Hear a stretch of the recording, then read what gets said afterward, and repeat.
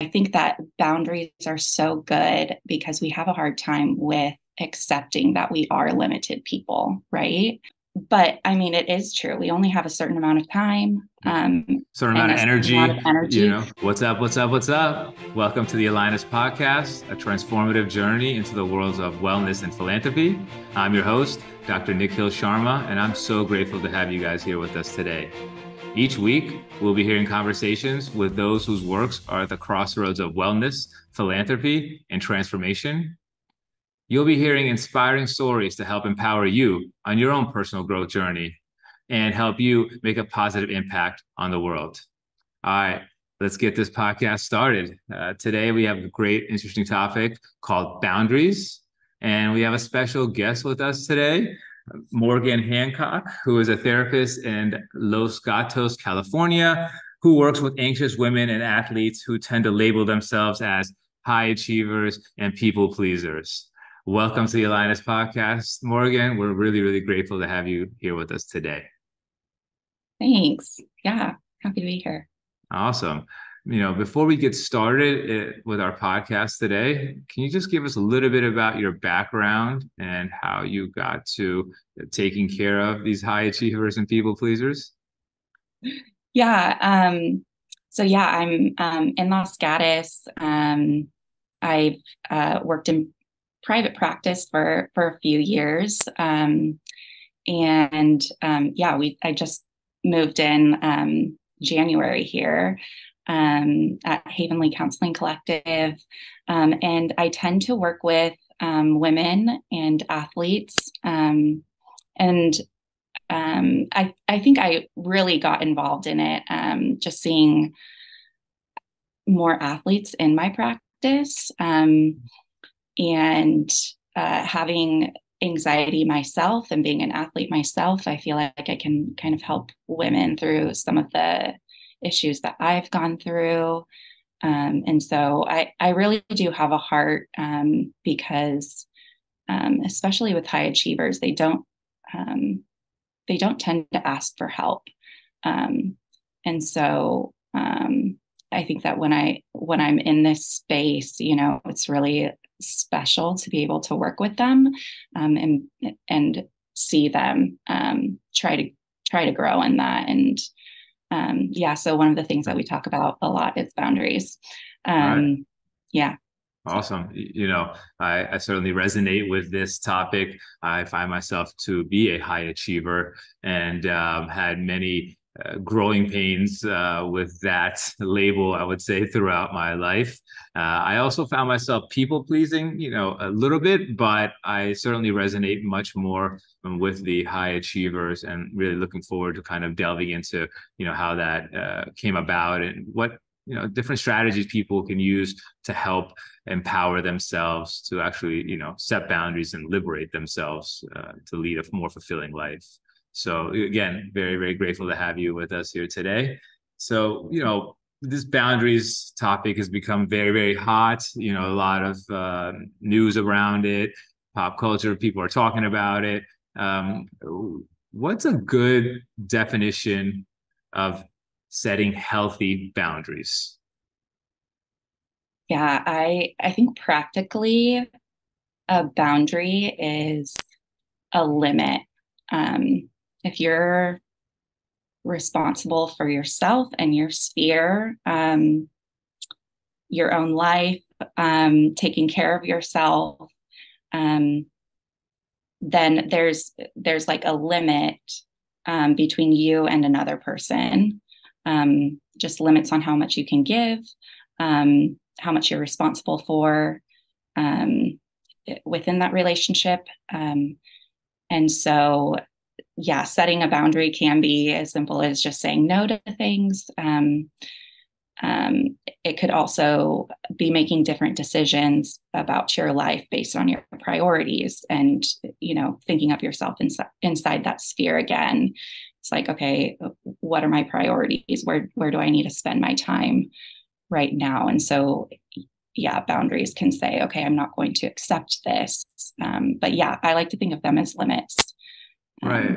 But it's not like limits in a restrictive manner where people feel like boundaries like somehow inhibit your life right? It, it, boundaries are actually set eh, so that it can free you up to do the things that you you most you feel emotionally fulfilled you know to pursue right? It's it's it's not like boundaries hey um, i need to sit at home and boundary myself from every human being and become so isolated right um, it's understanding yeah. that we have a house with like a fence right and you mm-hmm. know right. we're going to coordinate with other people around us uh, but in order to uh, harmoniously uh, and efficiently lead our lives uh, we must respect uh, and understand what our boundaries are. And those that are in our tribe uh, must also do the same. Yeah, a lot of people have a hard time. And I think that boundaries are so good because we have a hard time with accepting that we are limited people, right? That we think that it's really bad. Um, but I mean, it is true. We only have a certain amount of time, um, certain amount of energy. Amount of energy. You know? Yeah. Um, and so um, there there can be shame about that because we want to be limitless and be able to give to everyone and have, you know, make a, a ton of sacrifices um, for people um, based on you know our upbringing. I think um, we want to be that, but um, we can't you know you're right. and, and, yeah. and, I, and we we often learn the hard way that we can't. And what happens is is that our energy is so valuable but oftentimes we are overextending ourselves. We are doing things for every single other human being around us except ourselves you know? And uh, um, you know if when that occurs uh, we tend to crash and burn um, and our um, you know mental health uh, you know waxes and wanes you know because uh, energy is very valuable. Uh, and we need to be more mindful of how we are using that energy and who is uh, navigating into your zone i would say you know. And when you have the power and the empowerment to be able to uh, choose um, who you give your energy to and how much and you are most importantly uh, vocal about it uh, because uh, oftentimes we aren't. We're afraid that we think it's confrontation to let people know hey you're crossing our boundaries. But if you have that conversation about how you like to be communicated or how you like your relationships to go that takes away a lot of resentment that likely can build up um, because of one person giving you know either unrequited love or too much uh, in, in, a relationship with the other one's not giving enough right? So um, it's about understanding that and spending time with those people that give a good back and forth and understand what you need and, and you understand what they need uh, in order to live efficiently and harmoniously. Yeah. Yeah and something that you said there was like you know our energy is valuable. Um and and it is a sacrifice when we give to people you know or and but with people that i work with um they don't know it's a sacrifice. You know people pleasers aren't thinking in that way. It's like you know my time is just free you know? And like um i have all of this energy. I don't even think i i'm limited in that you know? So it's not actually like registering that this is even a sacrifice. And so um yeah i would it's say about- for anyone for anyone listening you know um that it, it is kind of hard to to see that that there are actually sacrifices being made that you may not even have to make you know? Um yeah. So, you know, I love this two types of people here. So we have these high achievers, which I know mm-hmm. a lot of people can resonate, and then these people pleasers. But how do we get to becoming a high achiever?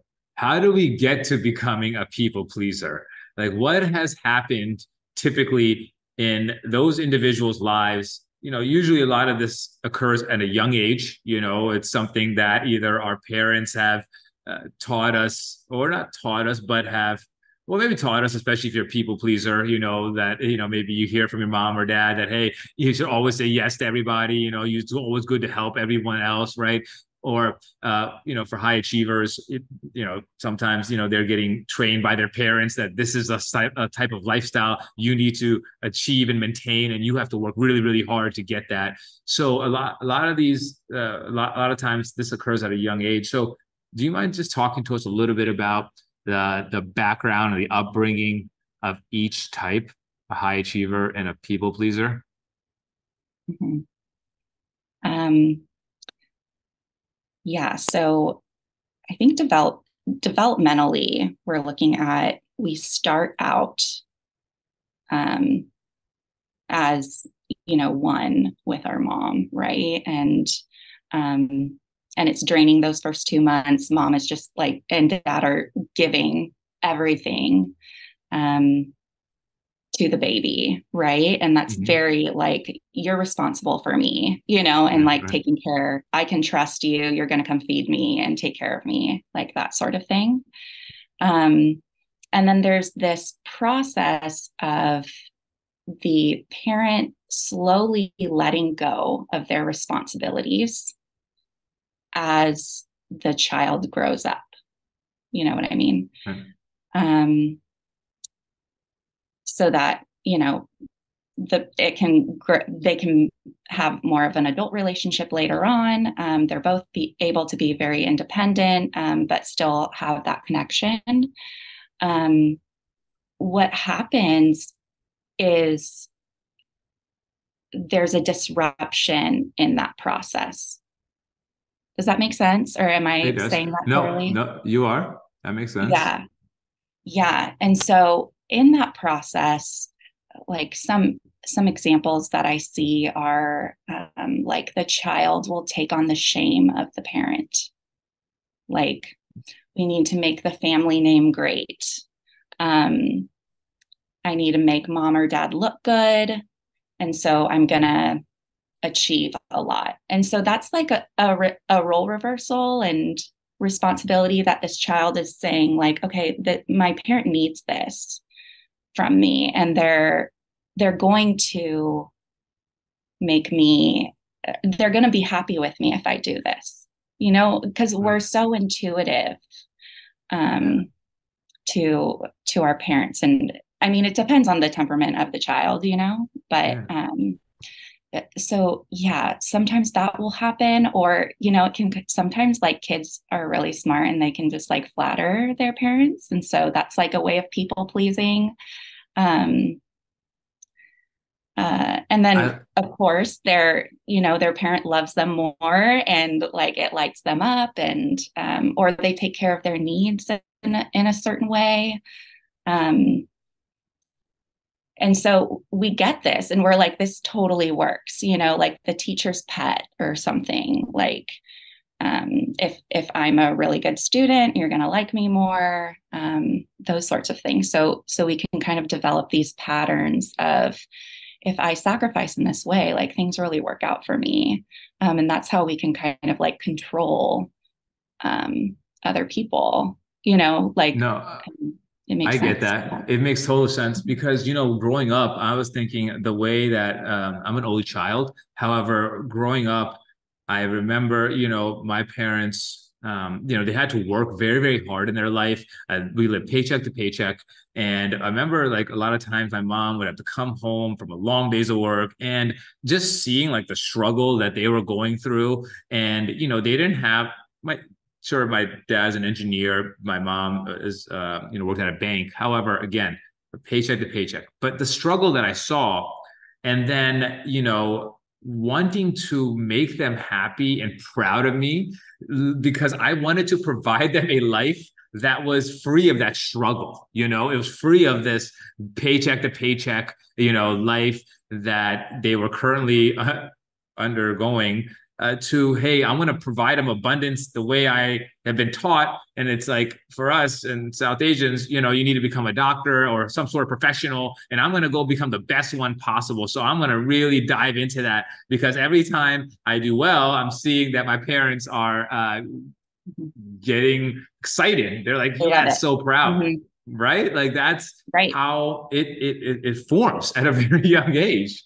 and continues yeah. on all the way until I graduated medical school. And at times, you know, the habits that I created to make that happen were extremely, uh, you know, not uh, good. I would say I would have very uh, unhealthy habits, but it was you do the things that you know how to do to try to make, you know, in this case, my parents proud of me because that's what made me feel good inside. Right. Yeah. And so there's, it, there's these really sweet stories, you know, we're right. just like, um, yeah as as kids we care so much and we're so attached and we just want our parents to be happy and um, this is kind of yeah how we learn how we learn these patterns is there yeah. some advice that you would give to parents right now who mm-hmm. have younger kids right that are you know listening and how would you guide them on maybe preventing this uh, them to, from them to turn out to such super high achievers because you know or super people pleasers right. because right there is a point where you want to achieve like that's the whole goal in life is to achieve mm-hmm. right? And, and, it's like uh, there's nothing at all wrong with becoming a, a, a, ceo of course we need them. We need sports athletes and we need them to be performing at a very very high level you know at, at times. And we'll go into like the individual. But is there anything you could give to the advice to the parents about like who have younger kids now to me how they could you know better guide their kids prevent this yeah. right yeah and um sometimes um I don't know if I can say all the time. So I'm going to say sometimes uh-huh. um, the parents will be the same way, you know, of like, I want to be a really good parent. And so I'm going to take care of my kid um, and do a lot of things for them. Um, and so I have this one story. Um, of how my dad actually did this for me. Um, I was in third grade and I forgot my homework at school. So I told him, and then he's like, okay, I'll just, you know, I'll drive you back to school and, um, yeah, and we'll get your homework. Um, I learned the custodian's name because it actually happened three times. Um, and um, and so I didn't like, I obviously didn't learn my lesson the first time, didn't learn it the second time. And my dad was just taking on that responsibility for me when I, like, as a third grader, should have been able to remember, you know, or just like taking the consequences. Um, and um, so it, it is really difficult because, and I mean, I, I don't, um, I don't blame parents because that it's really difficult. I don't know if my dad did the right thing. You know what I mean? But at least in that moment, I wasn't learning my lesson. And it actually wasn't until my teacher was like jokingly like stapled um my homework she didn't actually staple it but she was like acting like she was um that i like got the point i'm like okay i need to remember you know um and so yeah so it's it's a fine line of being supportive and helping your um, your kids through their struggles and what they're going to and giving them the help that they need and then also not taking it on for them.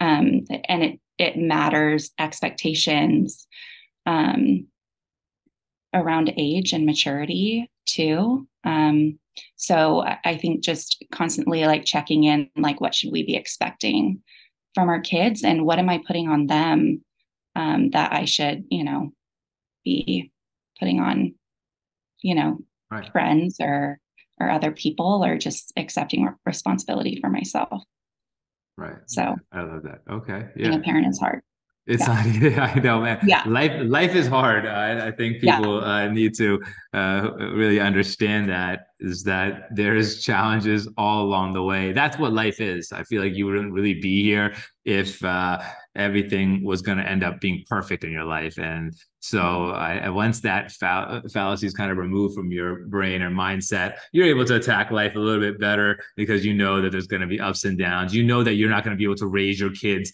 uh, to any perfect level because they'll have their own. We cannot control the outcomes of uh, their behaviors uh, because of their interactions and so on and so forth. But all we can do is be balanced. I feel in a way to try to you know guide them as best as we can and that's all you can really do uh, with all the knowledge that you're able to uh, gain and then impart on them hey guys for more resources on boundaries including our blog which has more insight on today's topic make sure you check out our website at www.alignusworld.com Make sure to also follow us on our social media pages on TikTok, Twitter, Facebook, Instagram with the handle at AlignUs World and to energetically donate to our YouTube channel, make sure to hit the like and subscribe button. That'd be greatly appreciated. Now back to our podcast. So you kind of coming back to the these high achievers and then the people pleasers. Um, so high achievers you know these are those you know athletes uh, these are those uh, you know 4.5 5.0 gpa students. I'm not sure what the gpa is these days because the highest we ever had was 4.0 uh, but I, am seeing some astronomical scores these days. But uh, you know uh, they're the they're the ones who end up becoming you know valedictorians. They're they are in every single activity uh, you know group that you can possibly be in in high school college uh, you know making sure that they're always at the top of whatever profession that they're in you know and whether that's driven by their parents sometimes you know in my case my parents wanted me to be a doctor so bad it's as if they had put that in my head at a very young age and i you know every time i got good grades i got all this reinforcement but it was also like when i didn't get good grades i would get you know belittled you know and so i in a way i started taking that um, my grades and their love kind of coexisted together, right?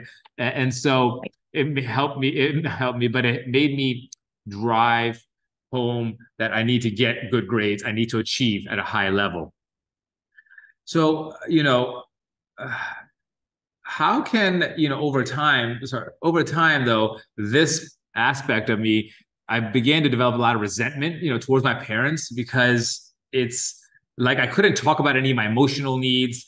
It was everything was like academics, and things became very unhealthy, and I had unhealthy patterns.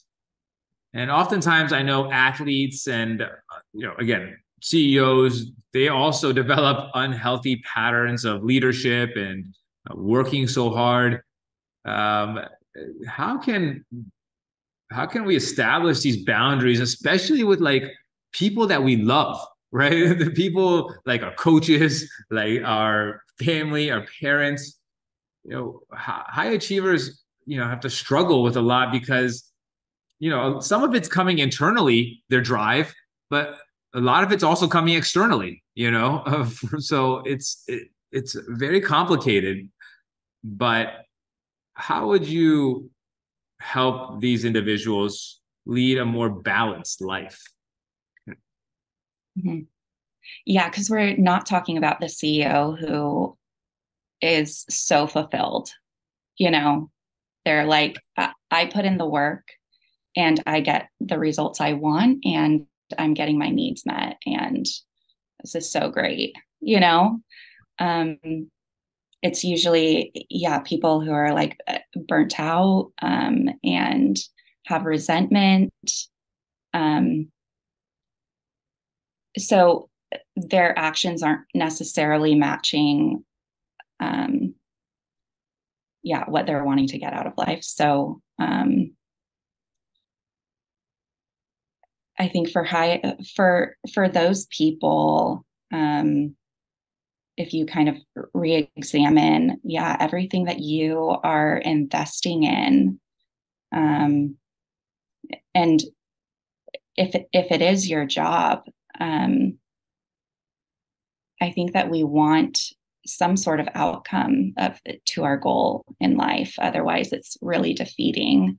Um, and so some people want like promotions and like other people want feel like they're not getting paid enough and so um, I, I, think that those or if they're not seen in their organization um, if they're you know working too too much that they don't feel comfortable with that can really start um, making burnout happen. Um, and so yeah when you talk about like external factors yeah kind of getting back to like wait why am i doing this?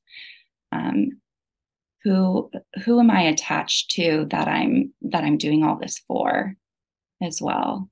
Um yeah i mean i can say when i was working in the hospital i was uh, you know director of a unit and was working my way uh, higher in the professional ranks i would start picking up weeks that I was off. I would be picking those weeks up to start working, you know, because I felt there was a need because my administration was saying that we need some help. So I'd be like, okay, let me jump in there and you know help out the team. And doing this over years, there'd be weeks or months that would go by. I would just work every single day, you know. And um, they came to a point where I was like, didn't feel that I was being appreciated at the level that I was giving back to that's the organization. Mm-hmm. And that's when I realized and I remember this really clearly going to the you know administration and asking for like a raise, saying that I'm taking care of this uh, you know very difficult population, which was a liver failure population, um, and doing it at a very high level. And we were with the best liver transplant uh, center you know in the world. And obviously, you know, there's a big big team for that that that accounts for that. Very blessed to be a part of that team. However there was a side of the medicine aspect where I felt like, you know, we needed more resources and wasn't getting that. So all these things start happening at your job. And I, I realized that uh, burnout started to quickly come upon me. And the high achiever that I was, I didn't recognize my own physical or mental ailments that were occurring because I kept pushing and pushing and pushing and more and more. Let me do more. I need to prove myself to who? Right? Like, what was I doing all that for? And right, and then you're um, sacrificing all of your time. Um, right. yeah, for kind of this idea of like getting approval. Right, you know? and, and um, getting to some higher status in that community when status. it would have yeah, so that means what, a lot when I should have just set up some boundaries and been like, well, no, I'm not going to work that week that I'm off. I'm sorry. Um, it's I want to spend that time recovering and spending time with my family, you know, and doing those types of things. I just I felt bad, right? Like I just didn't feel like I felt like I was letting them down if I was doing that. I mean, that's just and I feel like a lot of people probably feel that, right? That are in that mentality um, that they're overly working to compensate for not sure what, but it's it, it, it's a very draining process when you're not having any boundaries, and it leads yeah. to crashing and burning. I think another thing is, um, yeah, just not feeling not feeling good enough. So you want to, you know, perform. Um, so a lot of high high achievers are like, okay, yeah, if I get that next promotion, then you know i'll really be somebody and i'll really be valuable. Um, and then yeah and then we make all these sacrifices um, in order to get that when that's not actually true you know um, all people have the same respect and value. Um, but yeah that's kind of like what you learned um, from your from your background then yeah you're going to keep on carrying that out even in work right? So it's important i would say for those are listening to uh, when it comes to work boundaries it's to understand first of all who you are what your values are where you want to go and are you having that fulfillment in your current occupation or your current job status? You know you shouldn't feel like you're constantly feeling underappreciated. And if you are then that's something that you need to kind of, I feel, confront with your upper levels. And if you feel like uh, there it's time to go a separate path, then as hard as it is, it's something that you need to do. Otherwise, that resentment will build up. You, you shouldn't feel like you're in the cyclical pattern of having to work, work. I need to do more work to prove that I'm good enough for this job or promotion. When there's something else that's out there, and you must trust that that your time there is done. You know, uh, and and so a lot of times that can be difficult, but when we trust our intuition, like that's what I did, I realized that there is something more out there and it becomes really empowering and fulfilling, you know, to pursue that. Yeah. Um I think that when we get really clear on what what we're wanting out of the out of all these sacrifices that we're making, we can it empowers us to communicate it too right. that it's really important yeah to go to your boss or say like okay i'm doing all of this what does that mean for me what's you know what what is the result? Is it a promotion? Is it a raise? Because that's what i want at the end of the day. Or um, i want to be recognized. And so if i do all of this does that mean that you know and actually like clearly state like this is why you know i'm doing everything and can you agree to that?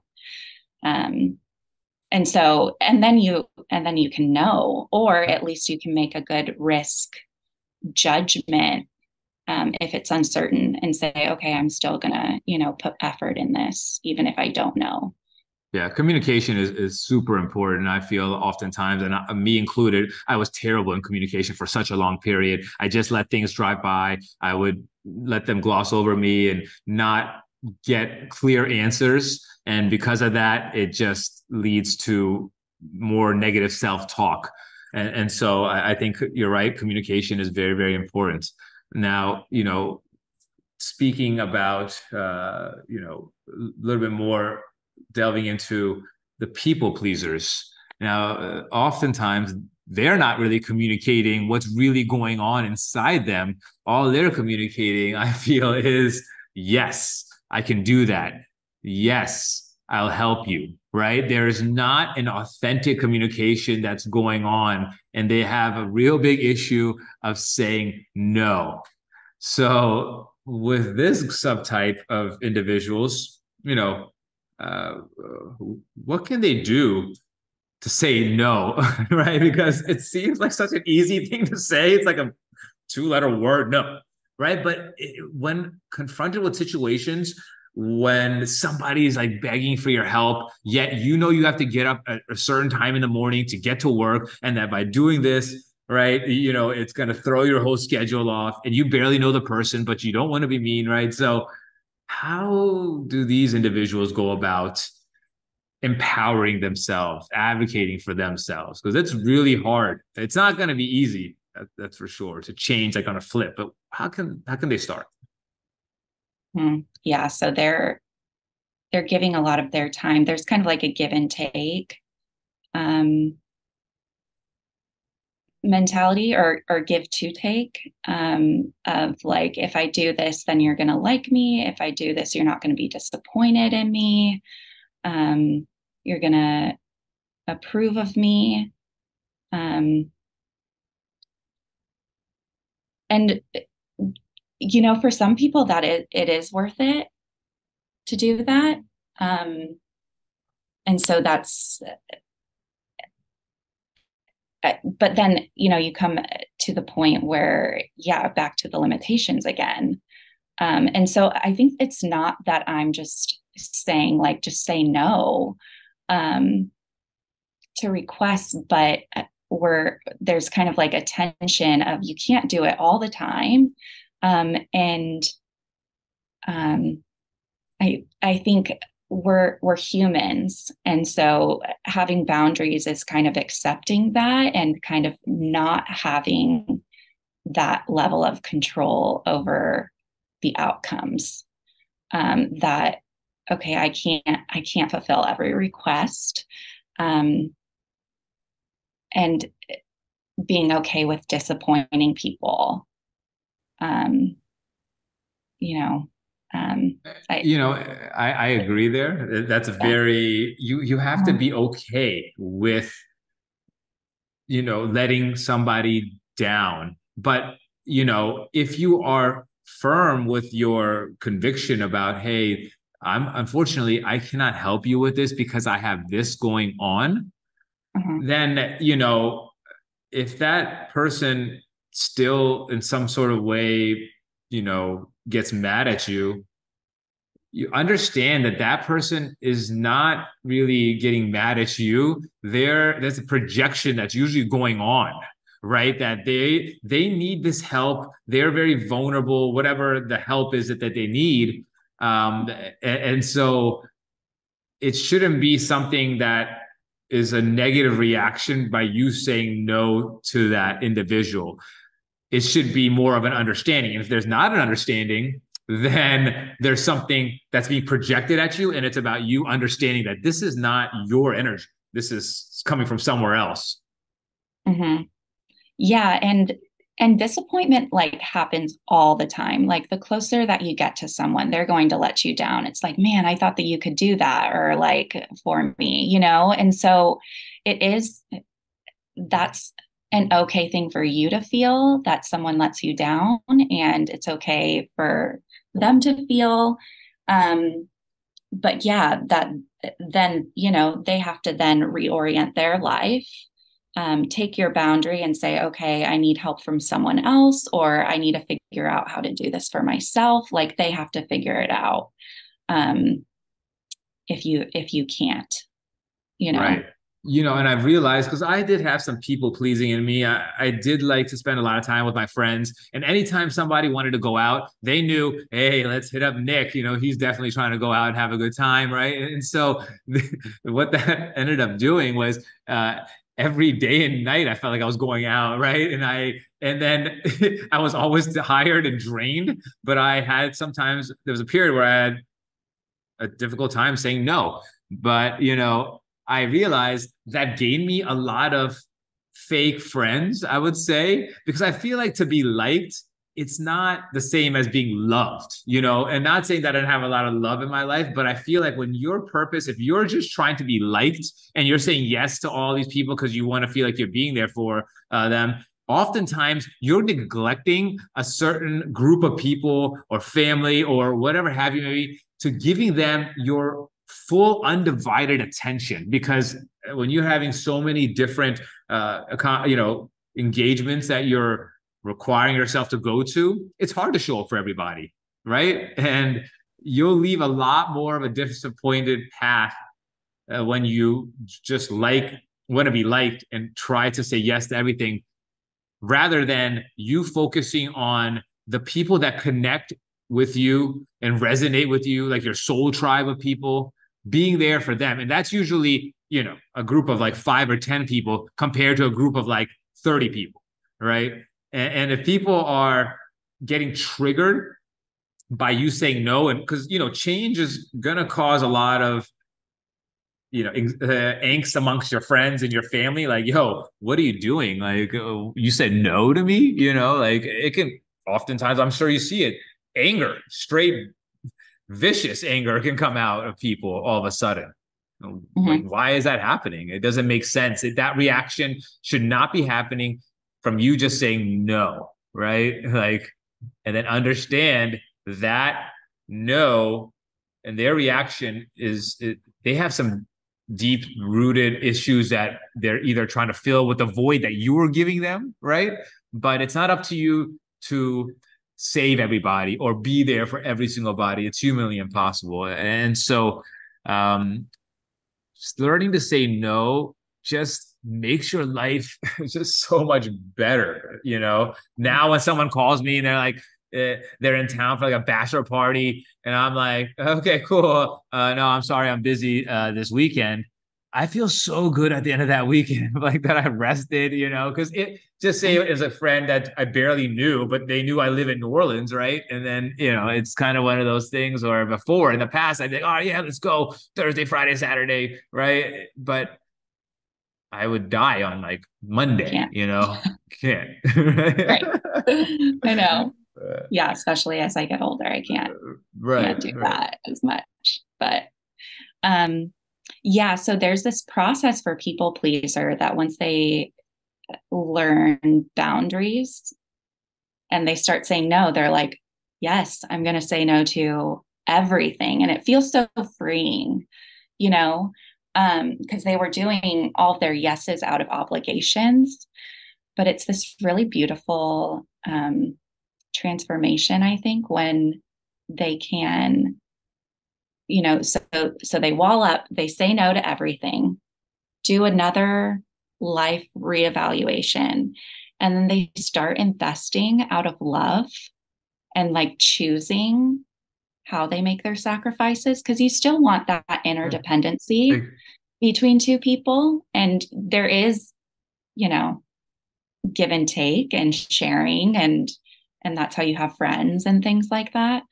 Um but yeah once you're you're like okay yeah this is or you start figuring out your values okay yeah this is what i'm going going to invest in. I am going to do this volunteer thing. I'm not going to do this one you know? And then they can really um it's it's out of love and it's out of choice and that's um you know they get so much more from that yeah so much. and, and it's true. It's like when you say no what you're doing is not spending that your energy uh, with that particular situation currently.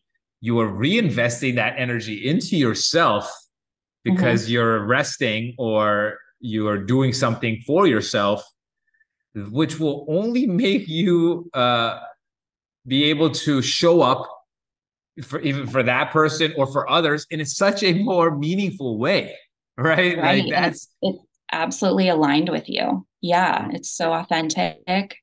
Yeah, it's great. It's, 10 out of 10. yeah. yeah, exactly. so I well, it's such a beautiful like it's it's magic you know what really occurs when you start setting up these boundaries or you know uh, these saying no um, you're saying it in order to love yourself a little more to pour into yourself so we can show ourselves to the world in the most authentic, loving way possible.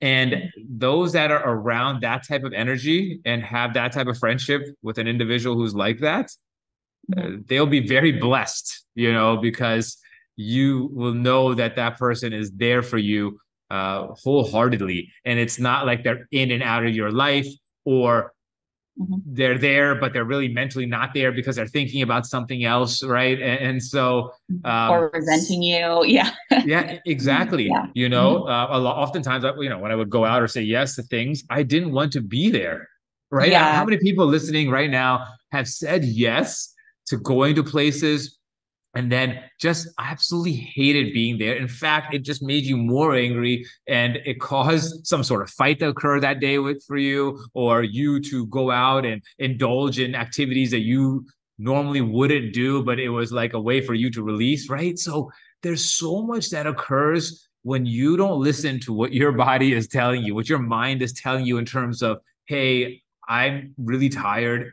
I don't need to say yes to this person or every person. I need to say yes to myself. Mm-hmm.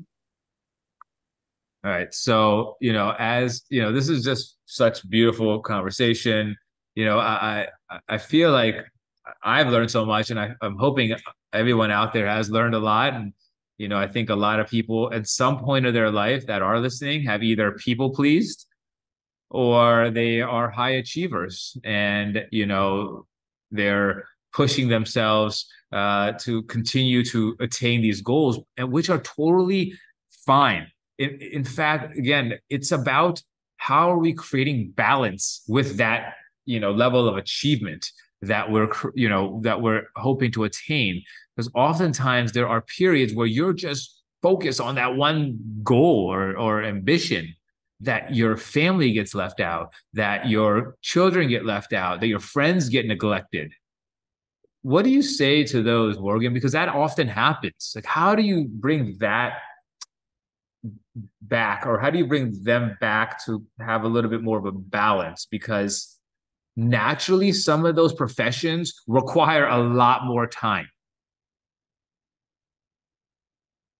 yeah and sometimes yeah we're just caught in systems that require more of us and are more demanding and then we have to um, make more sacrifices for that. And you have to decide if it's worth it i think you know worth it to your family um, at least for that phase. Um, yeah but if if you don't if you don't think it's worth it, then yeah, how can you make some changes um, in your life? Um, it's all balance. It's all balance. And I, I'm much better at recognizing that now that, hey, back then when I was uh, working nonstop 42 days in a row, I, I didn't realize how disconnected I'd gotten from my family and some of my friends in that time period. But now uh, and then when you are off balance like that, it your mind is very off balance, and then you use your time off in unproductive ways. Uh, oftentimes, you know, you're getting yourself more tired because you're going on these trips and you want to have this release, and there's just so much that goes on that your body has to re-regulate itself and causes a lot of issues uh, towards our mental wellness. So I just love like balance. Like it, it, there are points in life you're gonna have to push forward with your career aspect but hey maybe balance that with you know if you have a family letting them know like hey communicating with them like i'm going to be a little bit more busier this month. We have this going on. It's a big project. I really need to get this promotion. But you know what? Uh, I, I love you guys. We're going to do facetime. I'm going to be at home. You know something along those lines to help those areas of your life that are going to be neglected. Uh, it, it's about knowing that there's going to be some neglect in that in an area of your life, and how can you try to support that as best as you can and usually communication is the number one way to do that. So um, I, I, you know i resonate totally with this and and this has been a, you know a really wonderful podcast and i know our listeners and audience has really learned something here today. If there is some takeaway that you would want our uh, you, you know listeners to have our high achievers and our people pleasers you know what would that be yeah, I think um, I think that if they could pick a person in their life that they feel like they're overextending, um, or maybe it is work that's the person um, where they're overextending, um, and making a lot of sacrifices for. Uh, like, ask yourself what is um, the desired outcome that I want? Like, is it their approval? Is it for them to like me? Am I wanting a promotion? Am I wanting some status here? Um, and if it is, if that is something that you want, um, have that conversation with them. Um, like, hey, I'm I'm doing this because I want you to like me. You know, right. And and maybe they're like oh you don't have to do that you know? Like i i like you you know? Um or yeah if it's if it's at work you know they can say like yes you're on the you're on the right track. We do have plans for you you know? Um but making it outspoken um so that you can realign your life if it's not what you want you know if you're not going to get um get that yeah. All right. I love that. Thank you for tuning into the AlignUs podcast, where we inspire a world of wellness and philanthropy. For more resources and to stay connected to AlignUs and the AlignUs app release, make sure to check out our website at www.alignusworld.com. Make sure to also check out our social media pages on TikTok, Twitter, Facebook, Instagram, and YouTube with the handle at AlignUs World. And for more resources and services that Morgan provides, make sure to check her website out at www.morganhancockmft.com. And we'll have some more resources in the captions below. Until we meet again, stay aligned, stay connected, and stay anchored into the power of unconditional love. Namaste.